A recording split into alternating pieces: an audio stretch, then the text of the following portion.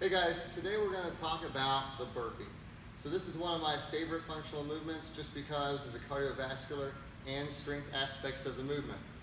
Now, I'm wearing a weighted vest today because I like to do mine weighted, but you can do yours without. So I'm going to go through the movement. So we're going to stay, start with a vertical stance, hands down by the feet, kick the feet out, push up, chest touches the ground, back up to the top, feet to hands, big jump. And that's the burpee.